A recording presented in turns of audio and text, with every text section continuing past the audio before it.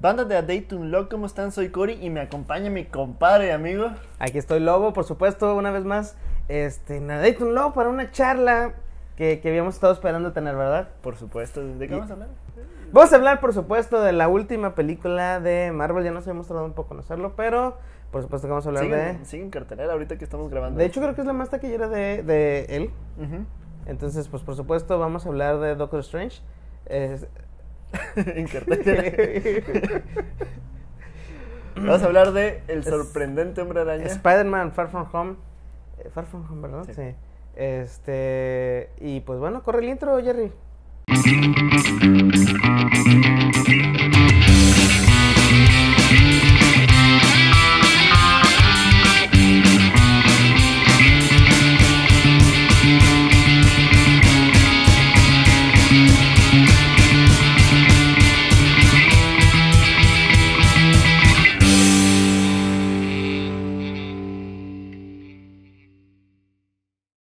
Pues bueno, hemos este, vuelto. Vamos a hablar sobre Spider-Man Far From ¿Eh? Este.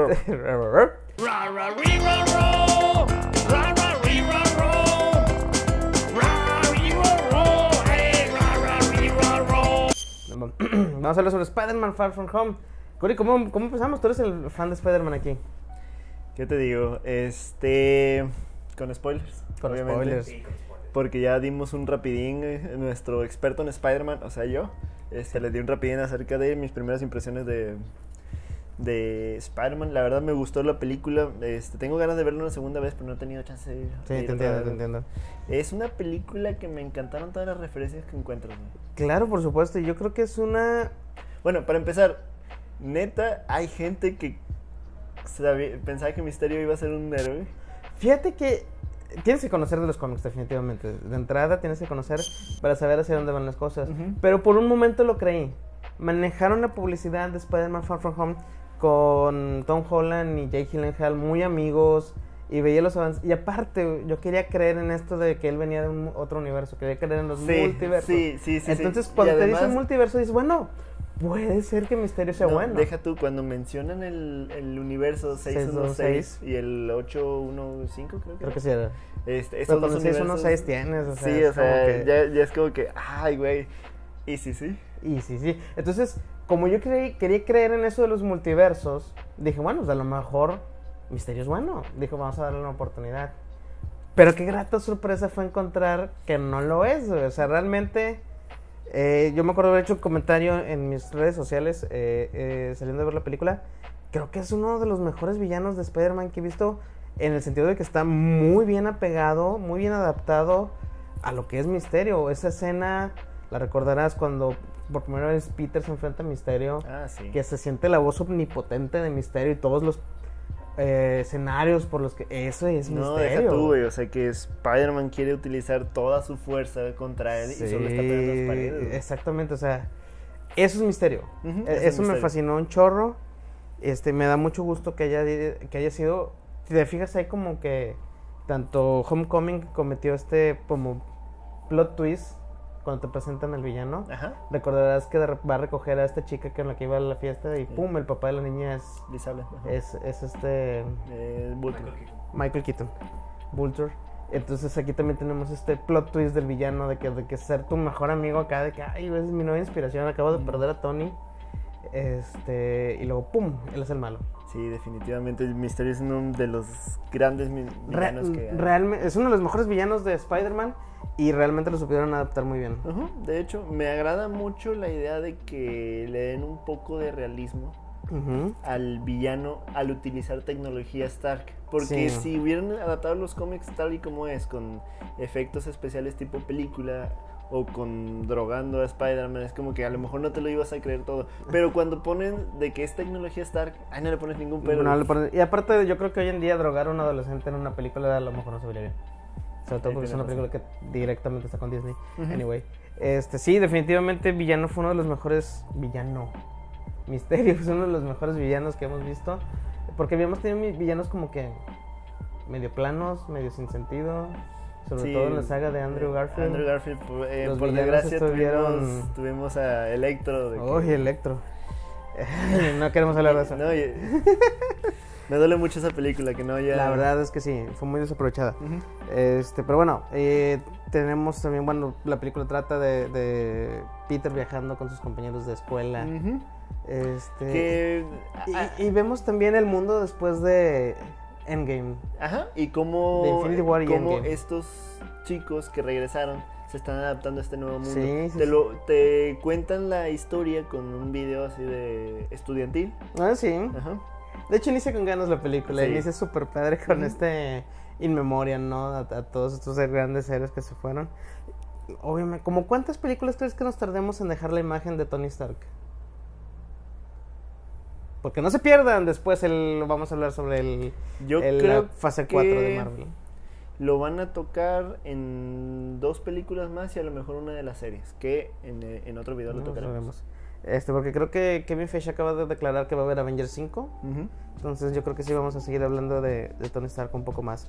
Pero estuvo muy bonito el homenaje. Eh, ¿Qué opinas ahora? Siento yo como un cambio en Michelle, en MJ. Michelle Jones. No, no le digamos MJ por ahora. es difícil. Sí, em, difícil. Hubo un cambio y la mera verdad, este, yo en el rapidín lo dije, me gustó el que este cambio que tiene esta Este Michelle. personaje. ¿Es Michelle. Sí. Este. Santana, ¿cómo, ¿cómo se llama la actriz? Zendaya. Zen- Zendaya, Zendaya, sí, esa. Sí, Santana es un este, músico. No, es quien vendió Texas, discúlpame. Esa es Santa Ana. Ah, oh, una disculpa a la historia de México. Sí, este, se ven un poquito más este, unidos en el sentido de que te recuerda como que ese amor de secundaria. Fíjate que a mí en, en Homecoming, eh, Centella, me, no- Zendaya. Zendaya, eh, no, no me caía, güey. Sentía que era como que esta actriz. ¿no? Ajá, este personaje antipático. Y como lo manejaron ahora, me gustó un chorro. Me- o sea, es más niña de secundaria, güey. Eso me gustó bastante.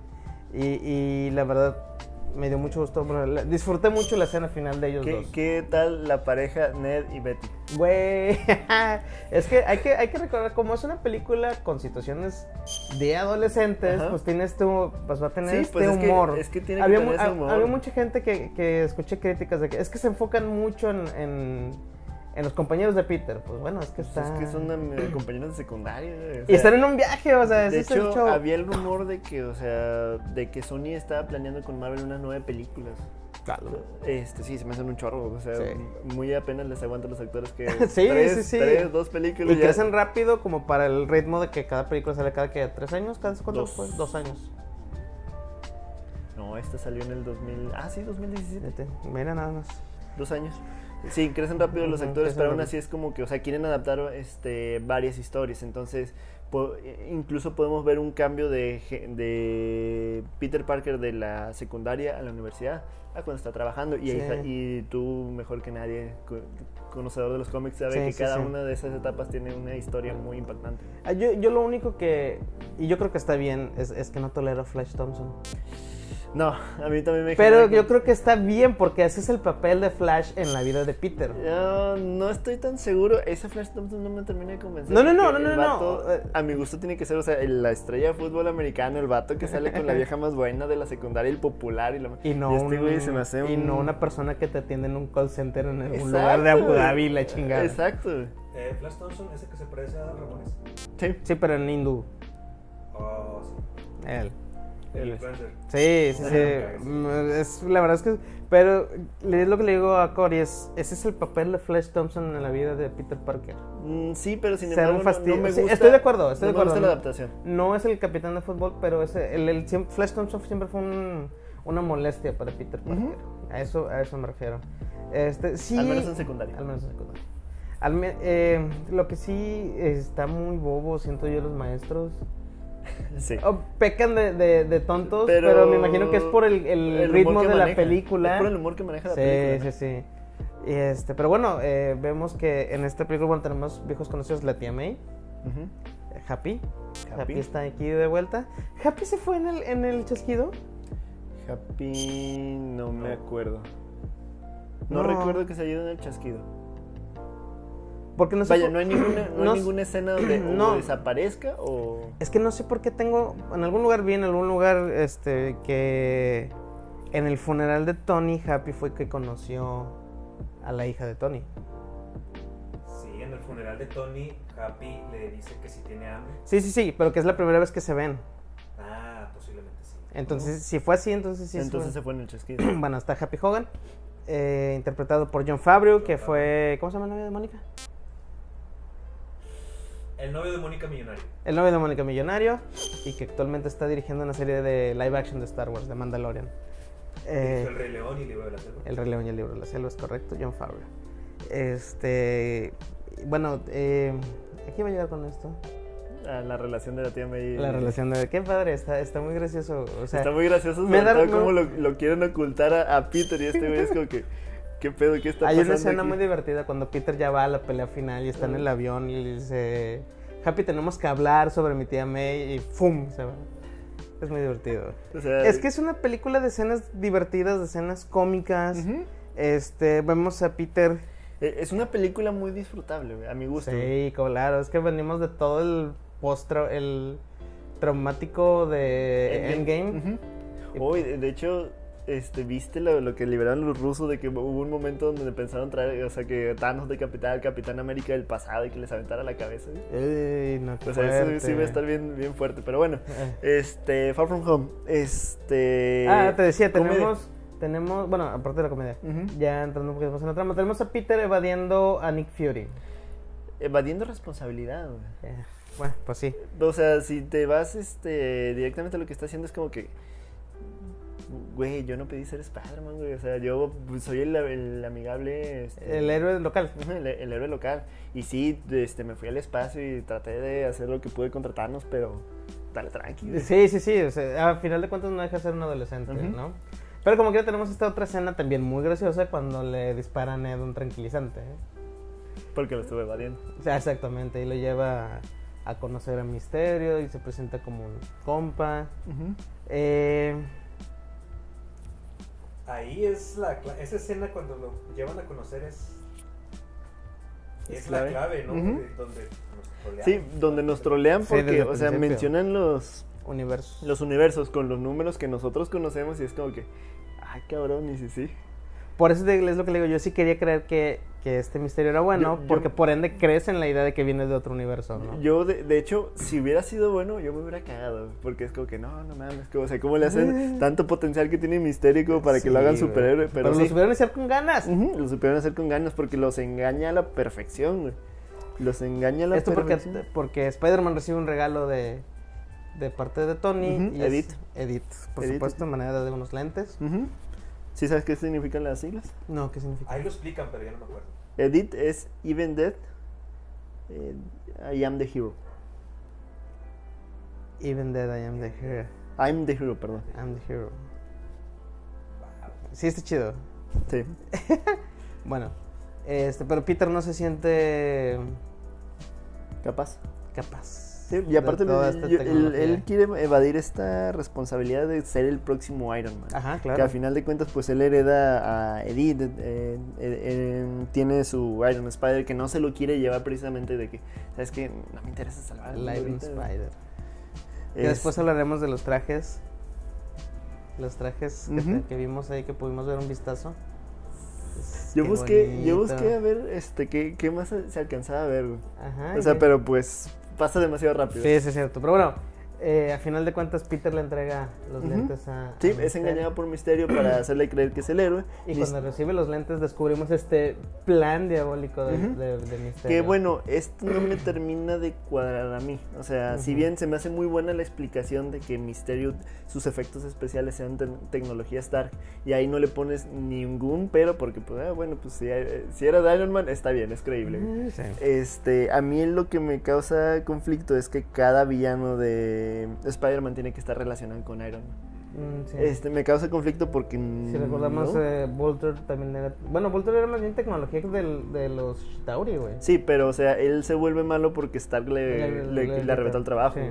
Y al rato va a salir que salió el meme de, que de que eh, ese güey está jugando a Gálaga. Ay, hijo de tu puta madre, me va a convertir en el duende verde. Me va a convertir en el duende verde. gente. Referencia en Avengers 1, por supuesto. Ujú. a, a raíz de esto, de que le entrega los lentes, Es Eh, como que ya tengo la tecnología Stark y ahora sí ya voy a hacer. Y, y- y Peter decide como que retomar su vida porque él quería confesarle su amor a Michelle. Ujú. Y cuando le est- está tratando de confesarle su amor a Michelle, Michelle le dice, tú eres Spider-Man. Sí, es, Eh, es un poco obvio. sí, es un poco obvio. Descubren juntos las ilusiones, la, la máquina para crear ilusiones. Encuentran un pedazo de un proyector que se dañó. Y Peter se da cuenta que la regó en grande. Dice, ah, la madre. Sí. Pero no mencionaron por qué la pegó. Porque ¿A le entregó los. lentes. A eso vamos, encontró el, el- este aparato que hace los hologramas, que es parte de la tecnología de Misterio. Misterio quería hacerse un Hacerse héroe a través de ilusiones, de estos monstruos, los que pensábamos en, en los primeros avances que eran los Elementals. Y no, resultaron ser ilusiones creadas por eh, el personaje de Misterio que junto con otras personas que estaban en vivían en descontento con Tony Stark decidieron hacer algo para engrandecerse ellos con la tecnología de Stark, se podría decir. Yo creo que sí. Peter decide confrontarlo para quitarle los lentes Ujú. y, es derrotado en una de las mejores escenas de la película. de- o sea, y con referencias, o sea, al, al Circo de Misterio, a Marvel Zombies. a- Marvel Zombies, güey, eso estuvo bien drástico. Recuerdo que mi hermano me mandó un screen que, ¿qué es esto? Y era el Iron Man Zombie. Y yo, ah, es una ilusión. Pero sí está muy, muy cabrón ese pedo. Aparte de que, fíjate hasta dónde va la tecnología, porque su traje iba cambiando. Ah, sí, iba cambiando, o sea, a como lo tenía. el- Antes de Tony Stark. Ajá. Al. Homemade, sí, creo que se llama Homemade Suit, algo así. Algo así se llama, ¿no? Y siendo derrotado, pide ayuda al único hombre que podría salvarlo en ese momento. Y que ah, no se me ocurre cómo. Ah, bueno, es que Misterio pensó que lo había matado con, con- cuando lo atropelló el tren. ¿no? Sí, sí, sí.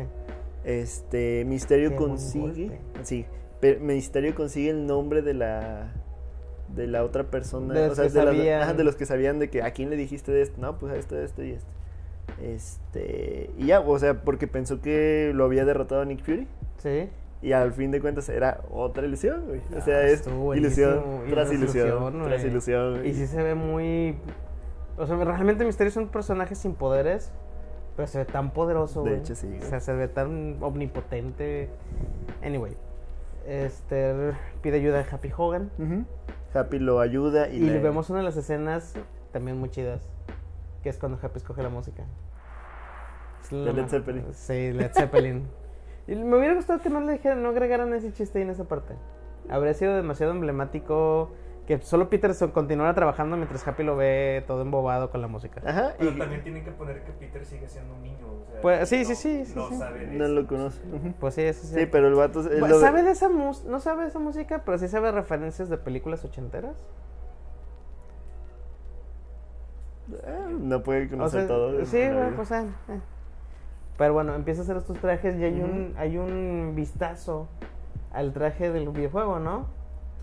Al del PlayStation 4. Al del PlayStation lo 4. busqué, pero no lo vi. Ok, bueno, Este, yo leí esa referencia. Yo el que vi fue el, el que el traje que cuando hay un desmadre ahí en, en Asgard que les entrega, ves que les entrega a todos los Vengadores un traje hecho de la- del metal del Mjolnir. Ahora, Yo vi una referencia a ese traje, ok. o sea, porque tiene los brazos, haz de cuenta de que A mí se me hubiera gustado ver una referencia de Play 4. Digo, tampoco lo vi, Ajá. porque la escena está así. es, demasiado rápido, rápido, o sea, te, muestran cua- cuatro así de, de golpe. Ya saldrá el Blu-ray y nos, nos Le podemos poner pausa. Ok. Pausa. Lo analizaremos aquí. En la Dayton. Espérenlo en la Dayton Log. que- ¿Cuándo sale el quién sabe? Eh, Apenas va a salir el de Avengers. apenas va a salir Detective Pikachu en Blu-ray el Uh. próximo 6 de agosto. Perdón por el comercial. Muy buenas referencias, güey. Aquí pasa lo de la escena que me- mencionamos del avión, güey. De Sí, que, eh, tenemos que hablar de tu y Este, tenemos una excelente pelea. La verdad, muy dinámica con todos los estos. ¿Cómo se llaman? Proyectores. No. Em, Ah, se me fue la palabra. los drones. Los drones, gracias. Es muy divertido ver a Peter estar dentro de los drones peleando. Ajá, y amarrándolos. y amarrándolos. Es, es, es inteligente, Peter Parker. Este, y al final pasó todo muy rápido. Porque esta escena donde vence a Misterio, después vemos eh, En la escena post en la escena post créditos, pero pasa todo muy rápido, siento yo, ¿no? o sea, cuando, por ejemplo, cuando vi la escena post créditos número uno, no recordaba cuando, o sea, lo que se ve, no, no lo recordaba, ¿sí me explico? Este, pero, ¿Misterio muere al final? A mi gusto, no. Yo creo que No. tampoco. No, porque. Bueno, este. qui- Quiero hacer un video aparte de. de para Dayton Log, una teoría que está circulando acerca de que los seis siniestros ya están dentro del, del UCM. Pero lo verán este más tarde. Este, Spoiler alert. Spoiler alert. Este, es derrotado. Es derrotado. Peter sí. recupera a Edith. Ujú. Recupera Y cancela todo. Cancela todo. Este. Y aquí te va el por qué se me hace que no está muerto, güey. ¿En qué momento tuvo chance para grabar? De que. La escena post créditos. Ajá, la, la escena post créditos Ahorita donde ya, revela ya vamos para las escenas post créditos. So, o sea, no, no se me hace lógico, simplemente fingió su muerte, como muchas veces lo ha hecho en los cómics. Sí, claro. Y este se reencuentra con Michelle Michelle. Este, ya. le da el cristalito El todo el rato, güey. Que es, que, que es güey, no mames. Oye, re- re- regresan a Nueva York. Y cortan una de las mejores relaciones que he visto en el cine en mi vida, güey. La de Betty. y Ay, de- güey, me dolió tanto. Fue, una, fue un amor fugaz. Sí, un Me amor gusta fugaz. considerarlo como un amor fugaz. Este. Güey, pero fue como cuando yo estaba viendo la película pues. es como que ese güey es mi ídolo. ese güey es mi ídolo. Se subió a un avión y se bajó con novia, güey. Sí, eso es. Entonces Ah. fue como que, ah, güey, ya podemos salir los cuatro, ¿sabes qué? Ya terminamos. Terminamos. Pero los dos estaban bien tranquilos. como que- amigos, sí, ajá, como, que, ah, de no, sí. Sí, o sea, terminaron bien. Oye, y luego ya vemos un poquito. eh, Te digo, esta escena de Michelle columpiándose con Spider-Man, realmente la sentí muy padre, muy bonita. Y- Este, y, llegaron fue lo que me al Ma- Madison Square Garden, Ajá. que está muy cerca de Hell's Kitchen, güey. De hecho, yo pensé que... Bueno, ahí te va, ahorita veremos una teoría sobre, al respecto de Hell's Kitchen. Este, bueno, esta, esta escena de, de Centella, eh, Zendaya. Zendaya, columpiándose con Peter, ahí fue donde terminó de agradarme en esta película, porque la, no sé, la sentí muy natural. Ujú. Y el hecho de que está Y se veía asustada, bonito, se veía bonito. Es que to- todo el tiempo estás viendo a Zendaya bien dura, así como que Sí. bien chingona y, y me vale verga todo y yo Sí. no soy sarcástica. Y ahí la ves débil. Por primera vez la ves débil, así como que, ah, Asustada, Sí. Entonces, creo, creo que ahí fue cuando muchos conectamos con ella. Y sale la torre recién vendida de los Vengadores, pero no se le ve un nombre. No se le da un nombre, que ahorita hablaremos también de esa teoría. Este, porque ya vamos, yo creo ya podemos ir a las dos escenas, las dos after credits. Más, hace mucho que no vi una película de Marvel que las dos escenas estuvieran con madre.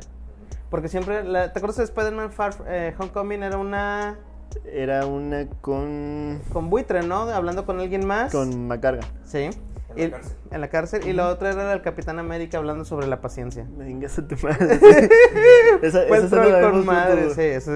Y aquí tenemos dos escenas muy buenas. La primera No, muy buena. La primera con la referencia más chingona que te puedes imaginar que fue de el hecho, regreso más, no, o sea, lo pusimos en la Dayton Log donde este güey es J.K. Simmons está en la premiere de este Far From Home.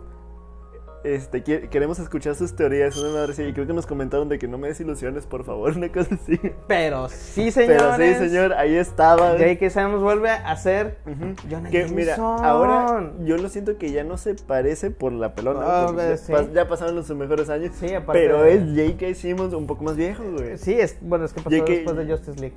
Recordamos que él es el comisionado Justice Gordon League, en Liga de la. Justicia. Es cierto, sí, comisionado Gordon. Es- yo, honestamente, yo pensé que, que Warner, al, hacer, al llevarse a, a J.K. Simmons, dije, no, pues ya jamás lo volveremos a ver como Jonah Jameson. Qué bueno que me equivoqué, güey, porque de, es de los es aciertos. que nadie, nadie más lo puede interpretar, güey. Nadie más. Eh, hemos visto en la historia de las películas de superhéroes grandes aciertos como Hugh Jackman, como Wolverine, como Robert Downey Jr., como Tony Stark, incluso Olivia Munn como Psylocke. Este, se me hace que son así como que look alike al personaje comple- 100%, pero ninguno, güey. Ninguno como Jonah J.K. Simmons, güey. Como- Ninguno como él, o sea, él es él. Ajá, la O sea, calca, güey. No hay nadie más, es él. Él es Deja tú, el vato es un caballero, güey. El, el vato, tengo entendido de que cuando Marvel lo contacta para, ¿sabes qué? Necesitamos que repitas el papel. El vato le pidió permiso a este Sam Raimi. Ah, qué bonito. O sea, le, le habló de que, ¿sabes qué? Quieren que repita el papel. ¿Hay problema? No, adelante. Fue. El vato es un caballero, güey. Sí, sí, sí, sí. Otros, no, otros hubieran ido nada más así como que Simón, sí. dale". Claro, o sea. El dinero iba sí, a ser. eh, Natalie Portman, saludos. Saludan a Natalie Portman, por favor. Este. Se vio bien incómodo cuando agarró el otro martillo, güey. Sí. Se vio bien incómodo, pero bueno, esperen ese video también. Este, y en este video, Este, es, El- la, el es la de- venganza de Misterio, güey. y, y lo que Jonah Jameson siempre ha estado en contra de Spider-Man. Ujú. Y vemos este un video revelador donde Misterio dice Es Peter Parker. la es identidad este secreta de, Peter, de Spider-Man. es Peter Parker y es este güey. Y me crean el meme, güey, de no. Qué buena escena. Qué buena escena. y es Excelente como que, güey. ¿cómo lo van a manejar después? Porque solo conozco una referencia. No estoy tan. Hay dos teorías. Hay dos teorías que. que ni de pedo es Mephisto, güey. Una es Mephisto. No, ni de y pedo, güey. yo digo que ni de pedo.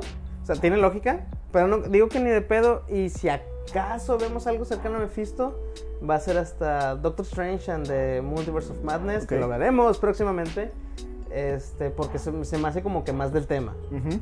La otra teoría es precisamente el abogado de Hell's Kitchen Ah, Matt por favor, güey, por favor. por defendiendo a favor. Peter Parker. No me des ilusiones, güey. Esa fue otra de las teorías que, se- que la próxima película sería la, la oportunidad perfecta para agregar a Matt Murdock. Recordemos que Matt Murdock es abogado y es Daredevil. Entonces, este, ni de pedo va a ser el de los de Netflix. Eso nos queda claro a todos, ¿verdad? No lo sé. Tienen que esperarse dos años para poder utilizar los personajes nuevamente.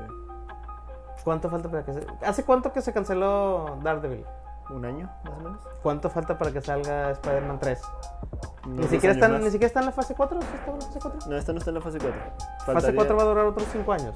Mm, yo creo que sí, sin embargo, o sea, acuérdate que estas, estas películas son y Marvel, güey. Y, y Sony no se va a andar arriesgando de que a la hora que tú quieras, Marvel, hacemos una película. Bueno, No, pero hablamos de la fase 4. so, yo creo que dos años, dos años más sale otra de Spider-Man. Otra vez Spider- Ojalá, bueno, ojalá. Este, bueno, y tenemos otra escena post créditos que a lo mejor no tiene la misma intensidad, pero está con madre. Nos revelan de que Nick Fury y, la María, tía Robin, sí, la tía Robin, son realmente eh, Talos y su esposa, güey, que Sí. siguen igual de pendejos. Como que chingado, Sí, güey, o sea. ¿cuándo vamos a tener Secret Invasion con esos culeros? No nunca podremos ver. No. No, es, es que de hecho desde Capitán Marvel el creador de los scrolls era así como que ¿qué hicieron? Ujú. ¿Por qué hicieron eso? ¿Por qué hicieron Pero bueno, eso? Descubrimos que Maria Hill y el Nick Fury realmente son Skrulls que estaban en- encubierto en el planeta, Ujú. mientras Nick Fury se tomaba unas vacaciones tranquilamente en el espacio. En el espacio. En A mí lo que yo más- considero que es la base de la Capitana Marvel, muy cerquita de donde de la nueva galaxia donde donde se han Es muy probable que sí sea, es muy probable que sí sea. ¿Dónde está Maria Hill? La verdadera. ¿Murió? ¿Qué pedo? De hecho no aparece ahí en la en, No. en la escena post ¿verdad? A mí, a mí eso es lo que más me intriga. No lo había pensado, no había pensado en ella. Ahora, No. ¿Maria Hill y Nick Fury de Infinity War son los Skrulls o son los verdaderos? No, creo que son a mí me sonaría lógico de que son los verdaderos, ¿sabes qué, Nick Fury? Estabas aquí en la Tierra, pero hubo un desmadre, güey. Este, tú eres mi camarada. Vámonos, güey. Vámonos, te necesito bueno, acá. A mí me Nick- suena lógico Nick de que Fury le dice a Peter al principio de la película, nos habíamos visto desde el funeral. O sea que el Nick Fury del funeral era el Skrull o era el verdadero.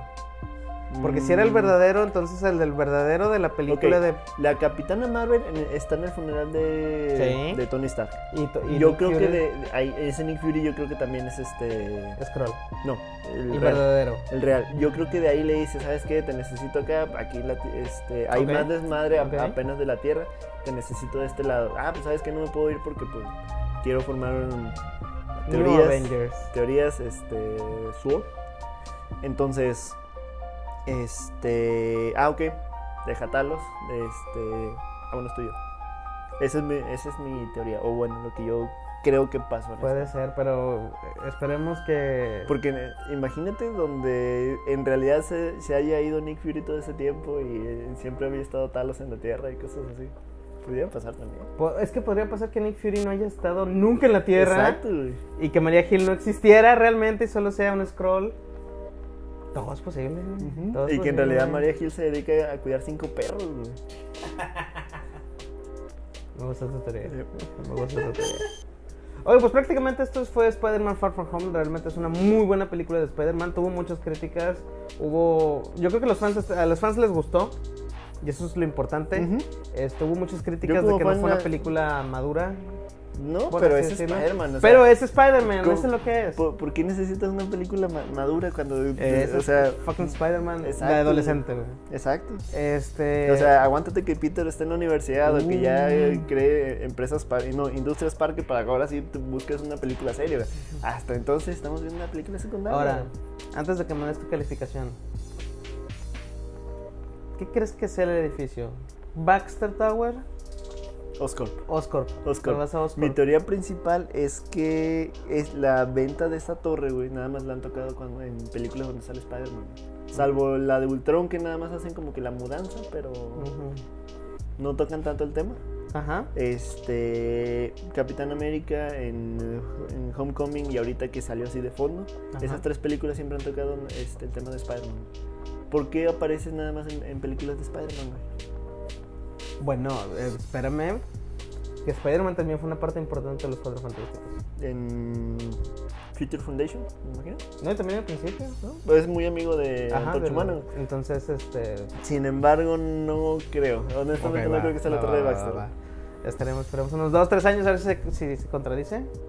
Eh, en la escena donde se van a- se reúne Michelle con, con Spider-Man, ya para la última escena de la película, enfrente de la gran central, hay una construcción abajo, hay una valla que tiene cuatro números. Dice 1, 2, 3, 4. Y creo que hay un texto que dice algo así como que nos, nos estamos encaminando o algo así. Esperen el próximo video de la fase 4 anunciada en Comic Con. Eh, ¿Calificaciones? Eh, me encantó la película. Sí. Em, ¿Del 1 al 10? Sí, del 1 al 10. Un 9. Un 9, porque hay detallitos que todavía no me terminan de Pero son muy por ejemplo. pequeños, son Muy muy pequeños. O sea. Flash no me termina de convencer, o sea, no es el guapo mamado que.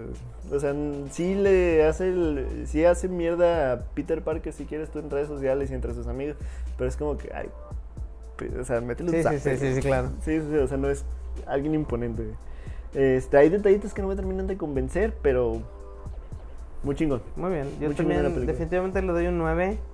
Y aunque Zendaya sigue gustándome, sigo esperando ver a... A Mary Jane. O a Gwen Stacy de perdido. Ojalá que les vamos Ojalá, pronto en este universo. Ahora, en el video de la fase 4 vamos a hablar de los multiversos. Entonces, ¿por qué no ver a Spider-Man? Será muy bien. Estaría muy bien. ¿eh? Aunque. Si ya se trajeron, fíjate esto, te, ahorita va. Creo que por contrato, como Oh. ya tocaron el tema de Spider-Gwen dentro de la an- animada, no creo que la pudieran tocar acá. Con dinero. Ah, cochino dinero. Sí, sí, sí, tienes razón. Pero ahí te va, ahí te va esta, esta propuesta. Si ya se trajeron a J.K. Simmons para repetir su papel de Jonah Jameson, ¿por qué no traerse a Emma Stone a repetirse su papel de Gwen Stacy, que es Spider-Gwen? Oh, por favor, sí. Yo, yo soy un eterno enamorado de Emma Stone, entonces sí, por favor, sí. Sí. Ahí está, ahí está Sí. Disney, ahí está la respuesta. Este, yo le hago el casting a Emma Stone, no hay pedo. Me traen Emma Stone. Yo quería Emma Watson. Este, pero bueno, yo también le doy una calificación de 9. Sí, o sea, hay, hay detallitos que no me terminan de gustar. O sea, no me, no me gusta tanto que todos los villanos tengan que ver con Tony Stark. güey. Este, que es como que. Sí, lo Uy, siento imagínate repetitivo- que los- repetitivo. güey. Tentáculos del Doctor Octopus en tecnología Stark. güey. Ay. Hola, que el. eh, ¿Cómo se? El deslizador del Duende Verde sea tecnología Stark. Sí puede ser. Ah, ojalá Pero, no. güey, Realmente es una película muy divertida. Este, todavía está en cines, vayan a verla. Y si no, pues esperen a que salga en formato casero. Este, no sean piratas. Este, esta fue nuestro, nuestra charla, Charla sobre Spider-Man Far From Home. Lejos de casa. lejos de casa y esperen porque vamos a tener un video ya este, hace una semana. Se terminó la Comic Con 2019 y revelaron la fase 4 de Marvel. Vamos a hablar un poquito de eso más adelante. Este, yo soy Lobo Yo soy Cory. y nos vemos a la próxima. Ah, compártanlo el video, compártanlo, suscríbanse, este, denle like y, y- y nos no regañes director. ¿No has hecho tú solo? Sí, me acordé, me acordé, perdón. Compartan el video si les gustó, suscríbanse a nuestro canal, denle like a nuestra página, síganos en Instagram. No hacemos mucho en Instagram, pero síganos. Este, y pues, chido. Facebook, Twitter.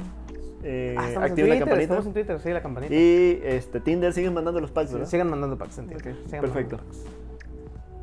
Vámonos.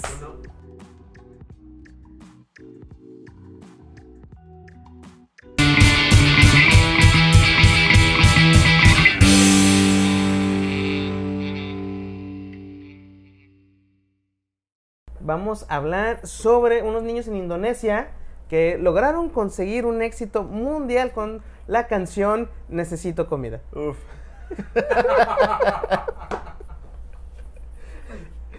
Te a. Perdón. Vamos a hablar, por supuesto, de la